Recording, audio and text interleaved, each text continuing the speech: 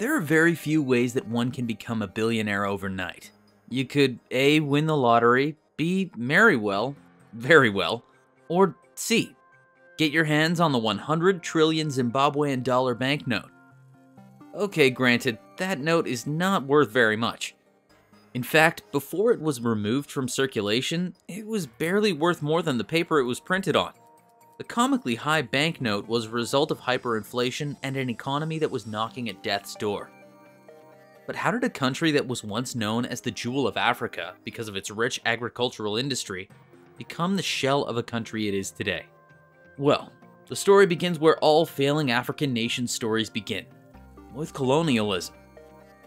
At a time where Africa was being cut up into tiny consumable pieces, numerous European nations had their eyes set on a small portion just north of South Africa.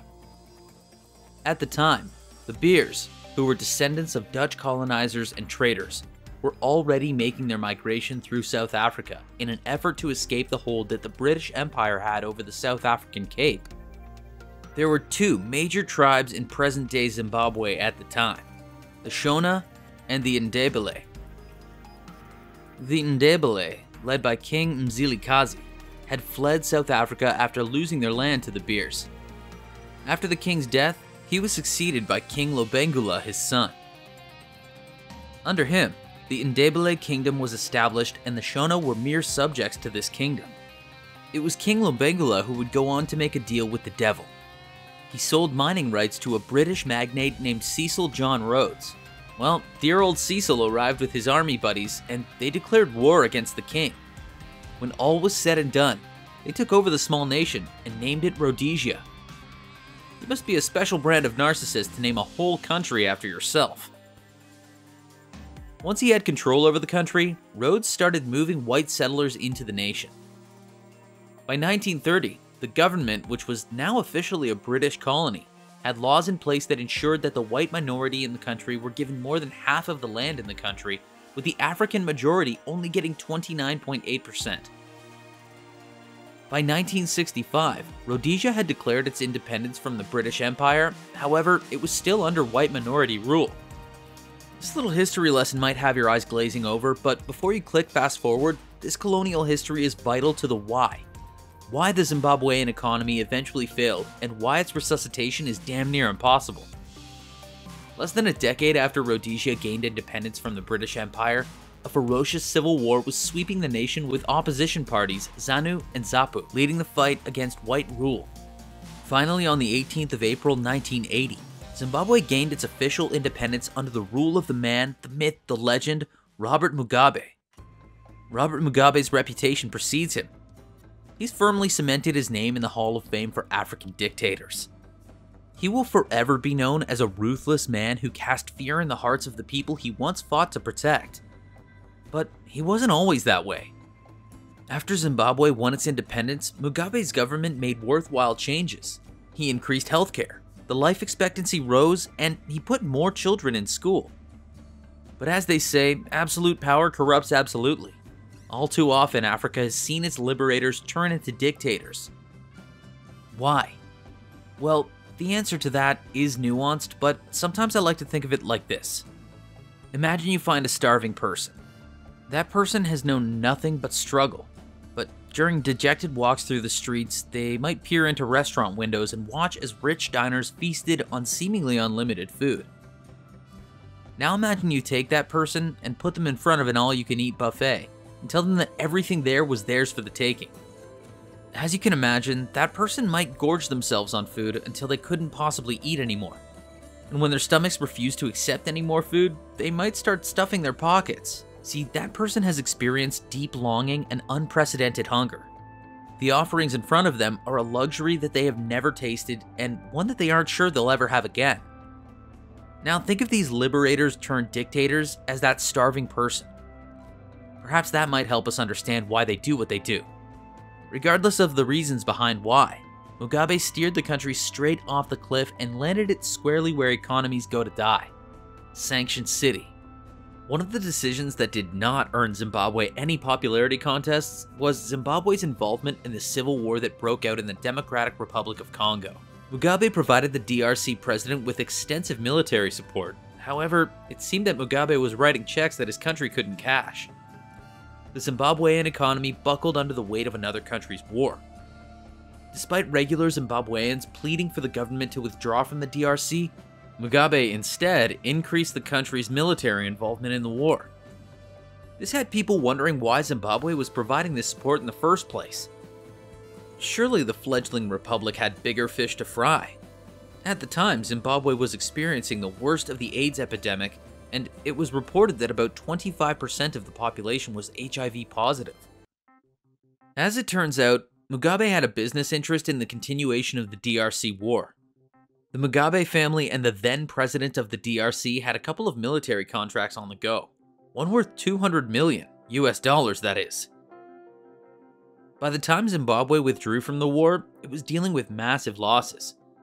Much of the military resources were destroyed in the war, and army was essentially crippled. Mugabe's regime was in trouble, and the public was becoming disillusioned with the once respected liberator. Unfortunately for the people of Zimbabwe, things were only going to get much worse.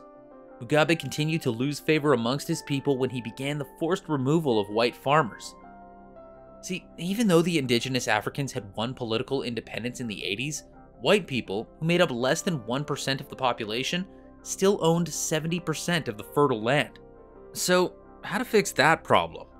Well, according to Mugabe, you just get rid of them using military force. Came, and so came those hefty sanctions. Let's say you're Mugabe. You're being hit with sanctions because of the countless human rights violations you and your military are committing. What's your next move?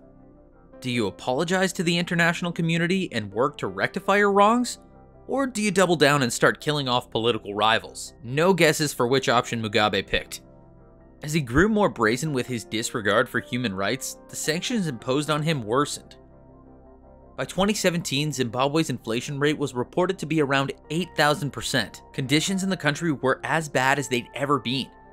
There were widespread power cuts and industries were failing, as the Zimbabwean population was stifled by poverty and grocery stores' shelves emptied from the lack of supply government officials were tucked away in secure estates where they enjoyed all the trappings of life, complete with foreign cars and all the food they could ever ask for. It seemed like that starving kid at the buffet was not only stuffing his face, but he had locked the door and was licking his fingers as his emaciated friends looked in through the window.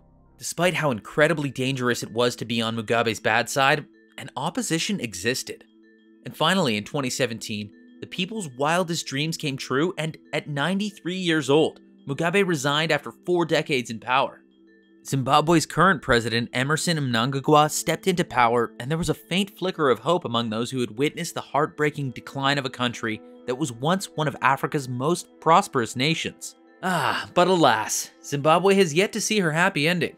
They say that the only thing certain is death and taxes. I would argue that corruption is an enduring phenomenon too. It's like energy. It cannot be destroyed, it simply passes from one form to another. Colonialism turned into authoritarian rule, which turned into what Zimbabwe is today. A recent documentary released by Al Jazeera exposed how deeply entrenched the corruption is in the current Zimbabwean government. The documentary exposed how government officials were smuggling gold, one of the country's most important resources, out of the country.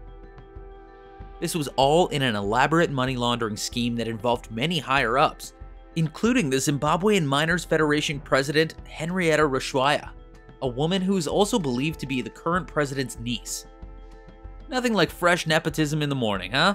As it stands, Zimbabwe is slowly recovering from a sordid history of colonization and corruption. After the tumultuous period of forced removals of white farmers, some stability visited Zimbabwe, and the country's GDP was, for a time, the fastest growing in the world. The formal economy is still small, but the informal economy is the real provider of people's day-to-day -day economic needs.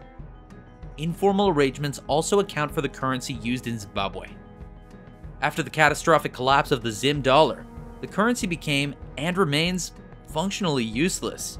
So Zimbabweans decided to adopt other currencies. Today the main currency in circulation in Zimbabwe is the US dollar, South African rands and Botswanan pula are also accepted at many informal stores, despite the government's recent efforts to reintroduce the Zim dollar as the only official currency. Unemployment remains high, and much of the arable land that previously gave Zimbabwe the name the breadbasket of Africa remains fallow. The people who were given ownership of the farms were not able to access financing to run the farm, and so many of the farms failed. There have been some success stories, but far too few to build an entire economy on. Zimbabwe has enormous potential to be a powerful and productive economy in southern Africa. All it needs is the right kind of leadership, which can inspire confidence in foreign investors and ignite optimism in the hearts and minds of ordinary Zimbabweans. Until then, all we can say to the Zimbabwean people is good luck.